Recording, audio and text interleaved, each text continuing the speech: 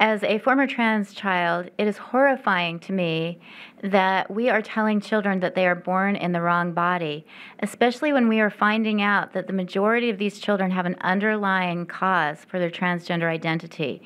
Being transgender is often a coping mechanism that is adopted after a trauma or an assault or some other underlying issue. So, as we are telling children that they're born in the wrong body, we're reaffirming the, the, the unhealthy coping mechanism that they've adopted and discouraging them from looking at the underlying wound that has caused them to adopt their trans identity.